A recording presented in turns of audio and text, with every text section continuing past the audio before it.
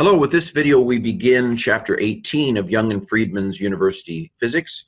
This is a chapter on the thermal properties of matter. And this first section is called Equations uh, of State. And equations of state uh, has to do with uh, various equations that relate to the state of matter uh, in terms of its volume and its pressure and those sorts of things. Um, these sorts of variables, pressure, volume, uh, are called state variables. So variables that describe the state of a material are called state variables, its pressure, its volume, uh, and so forth. And then equations that relate to these states are called equations of state. And of course, the main equation uh, for this section is the ideal gas equation. And uh, it's interesting um, if you compare uh, this this chapter with a, a chemistry textbook, for example. Uh, so um, I have chemistry videos as well as physics videos, and you'll find that uh, those chemistry vid videos kind of cover the same territory, but in a in a longer stretch of videos. So, like, there's a whole chapter uh, in the chemistry textbook on uh, gases and so forth. Well, you may know the ideal gas equation, and it relates to a number of of principles uh, that were put together, I, I think, largely in the 1800s.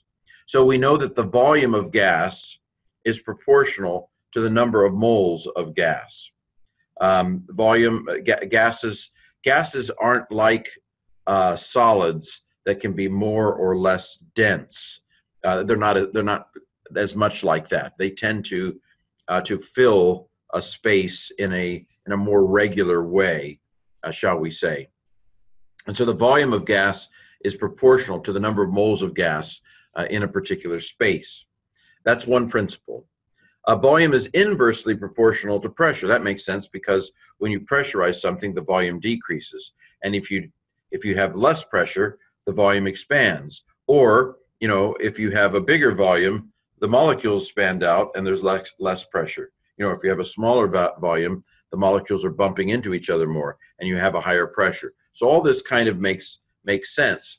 And then pressure is proportional to temperature as well. Uh, when the temperature goes up, the excitement of the molecules go up. And so they bounce into each other more. And so there's more pressure. But if the pressure goes down, then the molecules are moving more slowly and they run into each other less and there's less pressure. All of this is, is kind of common sense once you understand the way molecules uh, work. Therefore, we have the, the ideal gas equation which is pressure times volume, equals the number of moles of molecules times a constant times the temperature. This, this ideal uh, PV equals nRT. This uh, formula embodies the principles that we've just said. So um, pressure and volume are inversely proportional. Uh, and so as the pressure goes up, the volume goes down um, at a constant temperature. Because if you have a constant temperature, then nRT is a constant. And so that means that if the pressure goes up, the volume has to go down. And if volume goes up, the pressure has to go down in order to keep this constant. So at a constant temperature, uh, PV, you know, uh, have exactly an inversely proportional relationship. Where, whereas pressure and temperature are proportional. Um, and that means that as the temperature goes up, then the pressure has to go up for these two sides to stay equal. And of course, the volume is proportional to the number of moles of the molecule. And so if the volume goes up, the number of moles assume, assumably has gone up as well. So this all makes perfect sense. Ah, it is the ideal gas equation. Uh, okay, and of course I will have chemistry videos on uh, this as well, uh, following the gas chapter of uh, the chemistry textbook. So this assumes absolute pressure and absolute temperature. So temperature here is in uh, kelvins, um, and pressure is assumes uh, it's so there's absolute pressure and there's gauge pressure. Gauge pressure is the pressure in relationship to the atmosphere. Absolute pressure is the pressure it would have in a vacuum. So these are the two assumptions uh, of the um, of the the values that are being used in the ideal gas equation. And what is R? Uh, the constant R. So this is a this is a fun little thing um, that at some point the chemists and physicists of the 1800s, 1700s discovered that when you have these proportional relationships, when you have proportional relationships like this, that, that all you need to get from a kind of general proportionality to exactness is a constant. You, you, and you do you find that out by doing experimentation. So you know you know that PV is proportional to NT. But how do you get from it being proportional to it being equal? Well, it's a constant because they're proportional. That's the nature of a constant, of, of something that's proportional. And so then you do experiments and you discover that R is 8.31 joules uh, per mole Kelvin. Okay, um, again, remember that it's in its uh, absolute temperature, it's in Kelvin. Okay, the ideal gas equation. You've got this section. Um, now, there are some other details uh, in this uh, chapter, in this section of the chapter on equations of state. So the total mass, M total, the total mass equals the number of moles times what's called the molar mass. Now here again, um, see my chemistry videos uh, because this is uh, this particular section of the physics chapter um, condenses what is a, a, number of, of concepts in chemistry.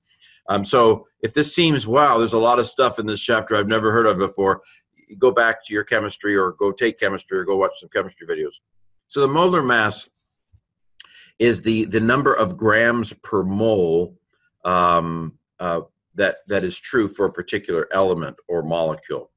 Now, you may have never heard of a mole. In fact, what I, here I am talking about moles, and you're like, what? Those little things that peek their head up in the ground, uh, whack-a-mole. Um, what is going on here? I thought this was a physics video, not a zoology video. Uh, and I'm sorry, I should have explained what a mole was. What is a mole?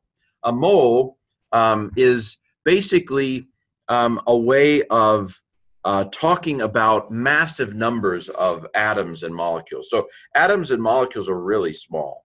They're really, really small. And so we don't use their actual the actual number of atoms or the actual number of molecules as if we could count them down to the actual number anyway. But there was a guy named Avogadro um, who basically um, estimated the number of atoms um, number of carbon atoms uh, in a uh, in a gram, and um, uh, on the assumption that a carbon atom has um, 12 protons in its nucleus, because that's the atomic number of carbon, 12. Uh, he he basically set a standard for what he called a mole of a substance, and basically uh, the, a mole of a substance is six times 10 to the 23rd power number of something. So a mole of atoms is six times 10 to the 23rd power of that atom, or a mole of molecules is six times 10 to the 23rd number of that molecule. So the molar mass is the number of grams there are for a mole of a particular thing. Um, and so um, grams per mole. So if you have a mole of carbon, you have six times 10 to the 23rd power carbon atoms. And so the molar mass is the number of grams there are. It turns out to be 12, by the way. Uh, a mole of carbon is 12 grams of, of mass. So um, the molar mass is the grams per mole. And if you multiply grams per mole times the number of moles, you get grams. Ta-da! By canceling out. Um, so since the total mass equals the number of moles times the molar mass, then we can go back to the PV equals nRT um, uh, formula and substitute in m over m for n, right? So if m total equals nm, then if you divide both sides by, by the molar mass, you get m total over m equals n. So I've just substituted that in. So now we have another formula uh, that we, we might use in a different kind of, of situation. Here's another, here's another variation on a theme. So the density is the volume per mass, right? And so if I subtract both sides by m total, then I have volume over m total equals rho, the density. Then if I divide both sides by p, uh, okay, I've done something uh, wrong here. Um, I'm sorry, it's mass per volume. beep, beep, beep, beep. Density is mass per volume. So if I divide if I divide both sides by v, then I have mass total over v on this side, which is rho.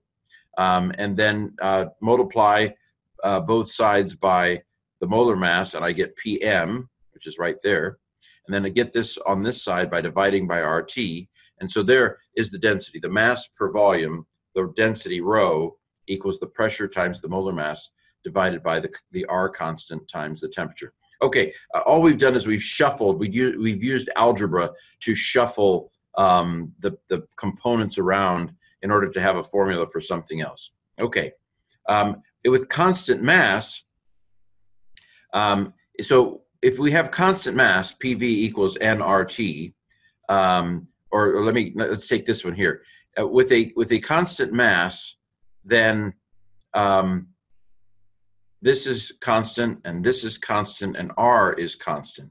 So if I divide by T, then PV divided by T equals a constant. And that's going to be true no matter what PV over T is, right?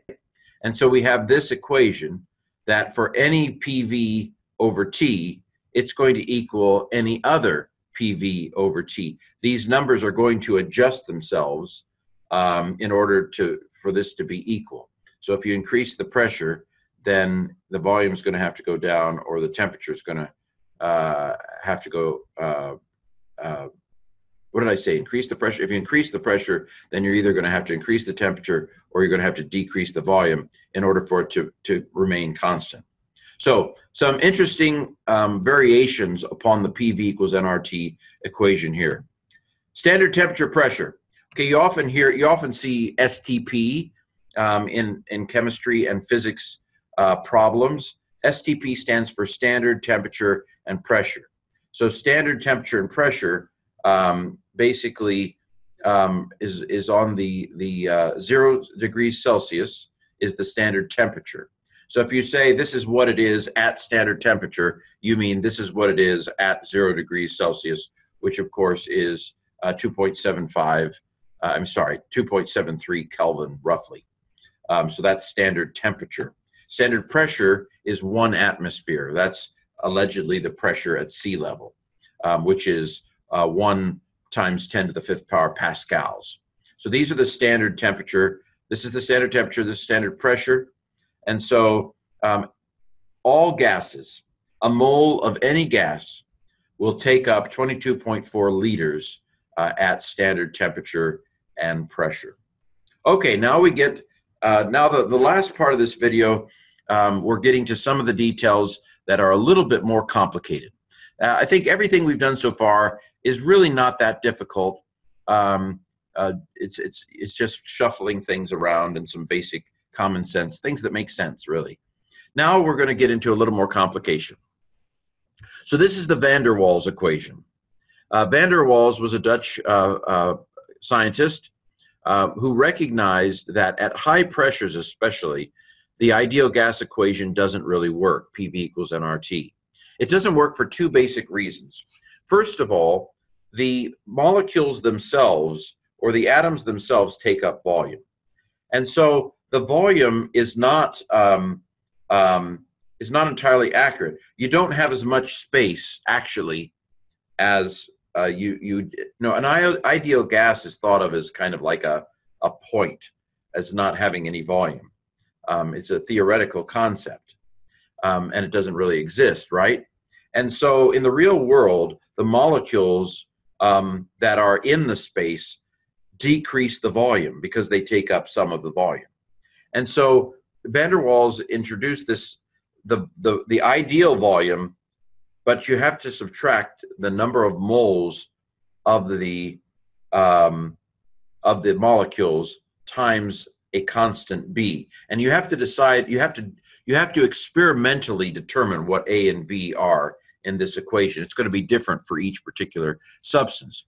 But basically by subtracting the number of moles times this constant you're going to come up with a more accurate sense of how much volume is actually in play because some of the volume is decreased by the presence of the molecules. Okay, so van der Waals adjusted the V part of the equation by subtracting the, the, the volume of the molecules themselves. So that's one thing that had to be adjusted. The other thing that has to be adjusted is that the pressure is offset a little bit by the attractive forces of the molecules themselves. The, the molecules are attracting themselves a little bit, which decreases the pressure.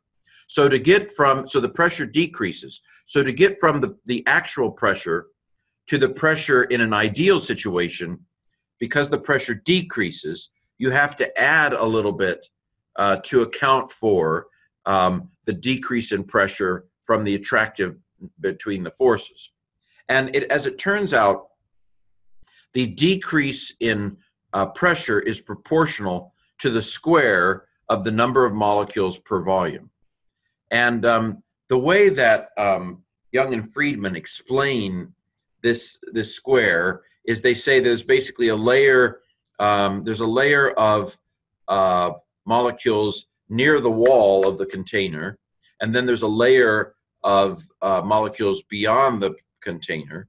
And uh, so you you always have a, a squared situation um, um, in, that, that is decreasing the pressure uh, as all of these times all of it's proportional to these and it's proportional to these and if it's proportional to both of them then it's proportional to the number of them squared over the volume of them squared.